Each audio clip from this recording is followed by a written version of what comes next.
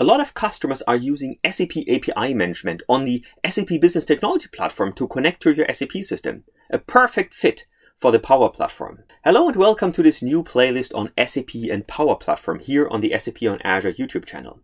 Okay, our system is now behind a firewall. So we need to bridge the wall to access it from Power Automate. We already talked about the on-premises data gateway, but there's actually also the SAP Cloud Connector, often being used with SAP customers. Actually, it is then often used in combination with an SAP API management. So let's take a look. So now let's talk about SAP API management. Um, so in, in this specific scenario, um, we typically have an SAP system, and an SAP system behind a firewall. Then you have the SAP API management running on the business technology platform where you, where you have an API portal where basically the API admin manages the APIs and you have a developer portal where the consumers of the API um, can, can look at what APIs are available. So I already did all of this and now I can, I'm here with the API Business Hub Enterprise. Um, and now I'm, I'm the person who wants to consume these APIs. So as a starting point, I can see here our ES5 um, example um, where we have access to APIs from our um, GW sample basic service. And if I go there, I can see here the proxy URL. Um, I can also take a look at the API reference. So I can see there's business partners, sales order sets, product set, very much like what we've seen before. But now it's proxied, it's managed by an API management layer. So if I, for example, um, open up now here Visual Studio Code and I use the REST client, I have here the authentication credentials, obviously. And if I click on send request, then I can see that the call is somewhat successful, but I get a 401 unauthorized.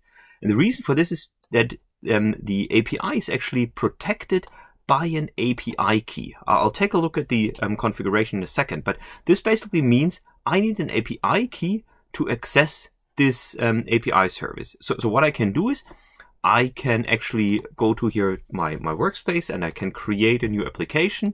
So let's call it um, demo API call I will add here this specific product. So this is all very um, SAP API management specific, but now we are creating basically a template that allows us to call this specific API. So you can see here, I have an API key. So let's take this one.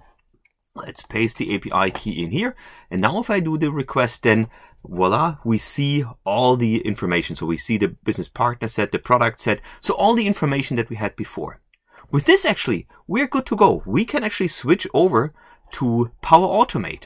And here in this Power Automate flow, I um, actually let me let me delete this one here. Um, I can now add a new OData service. So uh, I'll go here to the SAP OData action. I'll start with the query operation. And now what we'll do is we'll create a new connection. So the um, baseline URL for our service is obviously this one here. So um, uh, the, the, very same uh, URL that we also tested in our gateway client.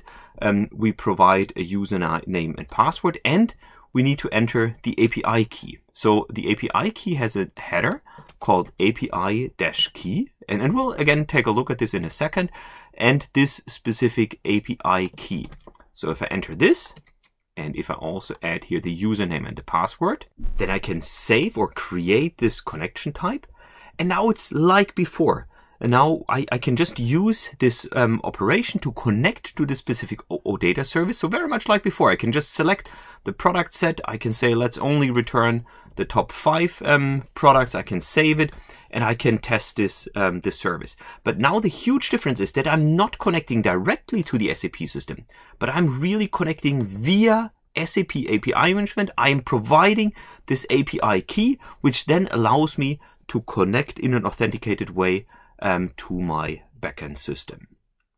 So and how is this done? How can you do this? Well, it's very, very easy actually. Um, so basically I followed here these tutorials to get started with SAP API management, how to set up SAP API management in a trial, how to create a provider, proxy, a product, and so on, um, how to add a policy to do the API verification.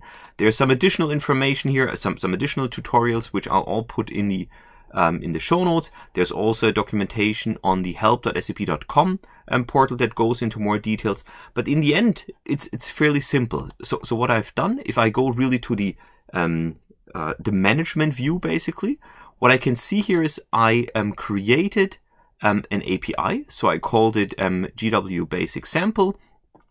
I fetched the information um, from our uh, endpoint resource, so, so uh, our um, ES5 system basically. I'm, I'm connecting here to the GW basic sample. And the main thing what I did is create this policy here. So in this policy, you can see there's a, there's a flow. If a request comes in, then we require a verification of an API key.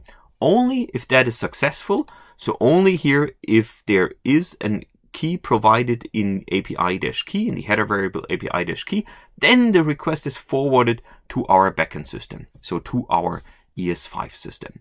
And with this and with the functionality, the possibilities to really um, configure now also APIs keys in the um, SAP OData connector, we can easily now um, also use API management as an additional layer to protect your SAP system.